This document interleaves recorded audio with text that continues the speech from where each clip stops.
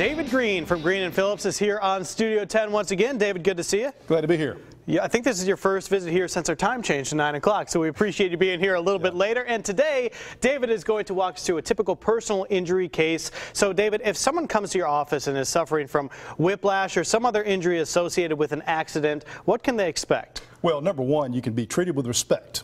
People are going to come out, our folks are going to greet you, offer you something to drink, bring you into our intake room and, and investigate your case. You're going to be greeted by an attorney who's going to sit down with you that's going to be knowledgeable about your type of case.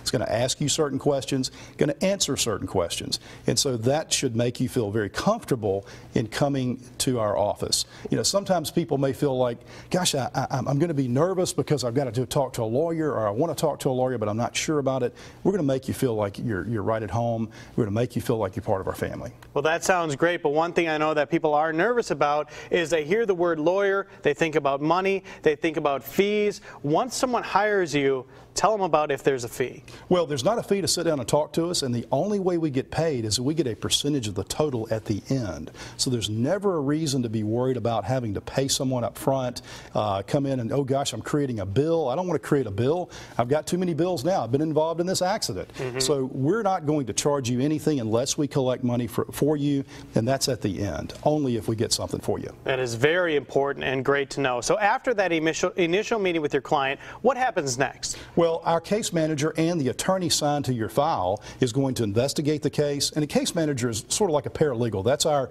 in-house term of someone that's going to work with you and help you with your case. But that individual is going to build your file, get the accident report, gather the med medical records, and make sure that you're getting the treatment that you need and deserve since you've been in that wreck. Well, you mentioned treatment. Once that treatment is completed, all the medical treatment is done, what happens next? Well, the case managers put together a package of all the records, they gather everything, and then they get that to the insurance company with the lawyer's approval, and then negotiation of the case starts. All right, so that's when the negotiation starts. When it finishes, everybody wants to know how long does it take to get that final check? That is a question everyone wants to know. Basically, from about 90 to 120 days from the time your case starts, we resolve our cases. It doesn't take a lot of time.